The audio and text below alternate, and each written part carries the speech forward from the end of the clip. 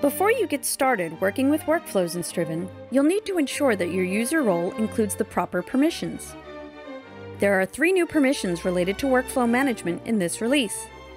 Workflow Add provides the ability to add new workflows in Striven. Workflows Manage All provides a superpower to view and manage all workflows in Striven. Workflow View All provides the ability to view all workflows, but you can only take actions on your own workflows.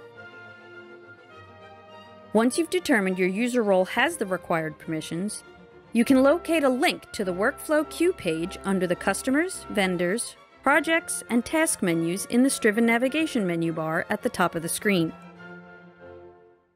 Clicking on the link from any of these menus will bring you to the same Workflow Queue page, which will provide options to search workflows by name, manager, based on, action type, or status. This is where you'll also find the options to manage workflows or view the workflow action log. The steps for creating a workflow are straightforward and should be easy to follow. To begin, click on the Manage Workflows button from the Workflows Queue page, which will navigate you to the Workflow Management page. From there, click the Add Workflow button to determine the configuration settings for your workflow. This is where you'll name your workflow, set the managers of the workflow, and provide access to the workflow for any employees you wish to have access. There will also be an option to copy from an existing workflow in the top right corner of the Add Workflow page. Click the Proceed button to continue, which will navigate you to the Workflow Info page, wherein you can see the info settings you set when creating the workflow, as well as edit or copy them. Triggers define a set of rules when something qualifies to be part of a workflow. The rules are defined as search filters in the next step. To add a trigger to your workflow, click the Add Trigger button.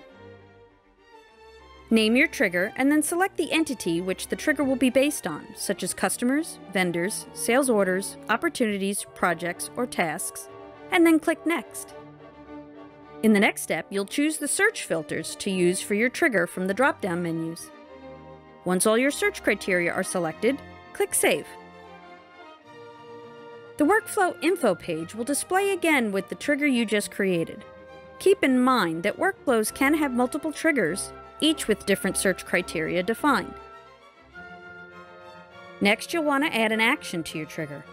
Clicking on the Add Action button will open a pop-up window with fields to fill in for the following. Action type, which offers the options for send email, send text, send discussion, or create task. Send on offers the options for day number, fixed date, fixed day, start date, due date, or done date. Different configuration options can be set depending on which send option is selected. 2. Offers the options for primary contact, contacts filtered by category, one or more employees, customer level assignment employee, anonymous email, requested by, or task assigned to employees. Depending on which action type is selected, the body field will have a different name, but will serve as basically the same thing. An editor field wherein you can type information related to the action, including bulleted or numbered lists, links, and tables. You may also choose to insert merge fields from the drop-down list to auto-populate particular details in this field, depending on the entity the trigger was based on, such as customers, vendors, etc. Other field options may become available depending on the action type selected, such as from, subject, message type, etc. If you wish to automate this trigger and action configuration, you can check the Send Automatically box. This will perform the action at the processing times automatically. If you leave the box unchecked, the actions will be put into the workflow queue, and the next steps would need to be performed from the queue. Once you've filled in all the fields required for the action, Click Save to complete the setup. Triggers need to be marked as published in order to run. There are two requirements for marking triggers as published. An action needs to be defined for the trigger, and a processing time needs to be set for the action. You can set the processing time by either clicking on the checkbox to mark as published, or you can select the option to set processing time from the Trigger Kebab menu. Workflow jobs execute six times every day.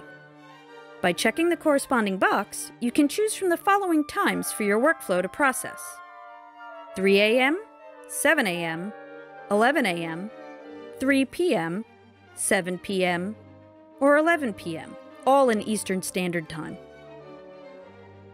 Click Save and Publish once you've selected the time or times you wish your triggers to be processed.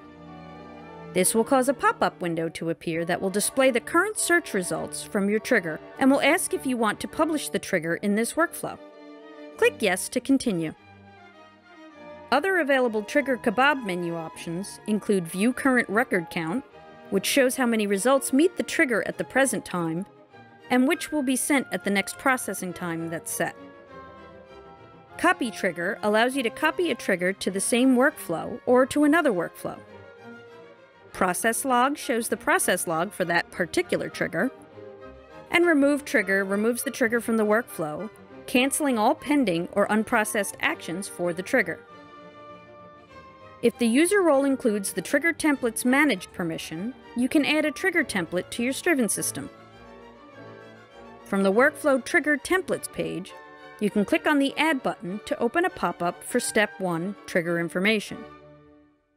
Enter the trigger info the same as when you created the trigger within your workflow by entering a trigger name and select what you wish the trigger to be based on, then click Next. For step 2, define the filters for the trigger, select the search options you wish to include in this trigger template, and click Save to keep the template so you can then select it from a drop-down list when creating a new workflow or adding triggers to an existing workflow. Now that you know how to set up and manage the triggers and actions of your workflows, you can move on to the next video to learn how to manually process, snooze, or skip actions from the workflow queue, and search or review all actions through the workflow action log.